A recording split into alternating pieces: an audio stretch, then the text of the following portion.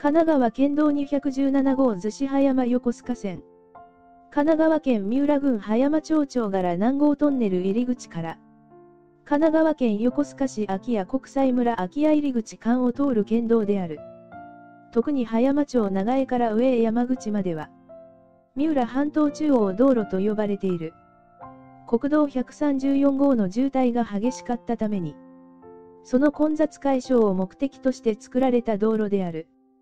三浦半島中央道路が、2004年、平成16年3月30日に開通したことにより、国道134号の所要時間は短縮している。概要。起点、逗子市桜山5丁目。終点、横須賀市空き家。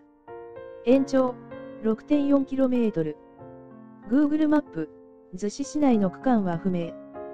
通過する自治体。神奈川県。逗子市。三浦郡葉山町。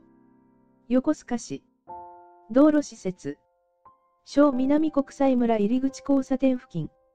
奥が逗子方面。南郷トンネル。龍神トンネル。